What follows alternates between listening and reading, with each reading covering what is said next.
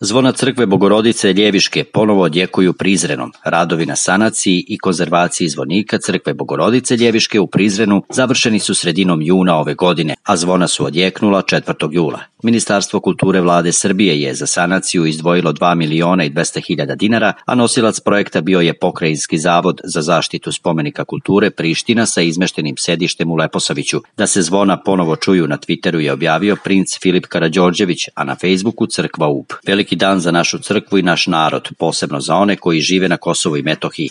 Od 1999. godine zvona u Ljeviškoj se nisu oglašavala, a 2004. godine su pala kada je crkva paljena tokom martovskog pogroma i kada je sa nje ukraden olovni krov, naveo je Filip Karadžorđević. On je istakao da uz dobru volju i pomoć svih nas, crkva Bogorodice Ljeviške, koja se nalazi na listi UNESCO svetske baštine, uskoro može zasijati svojim punim sjajem, onako kako zaslužuje jedan od najlepših srpskih pravoslavnih hramova. Crkva Bogorodica Ljeviška je drevna srpska pravoslavna crkva u Prizrenu, zadužbina kralja Milutina. Crkva je podignuta u periodu od 1306. do 1307. godine na ostacima starijeg katedralnog hrama iz 13. veka, koji je takođe zasnovan na mestu još starije ranohrišćanske crkve. Crkva je vekovima bila saborni, odnosno katedralni hram prizrenskih episkopa i mitropolita Srpske pravoslavne crkve.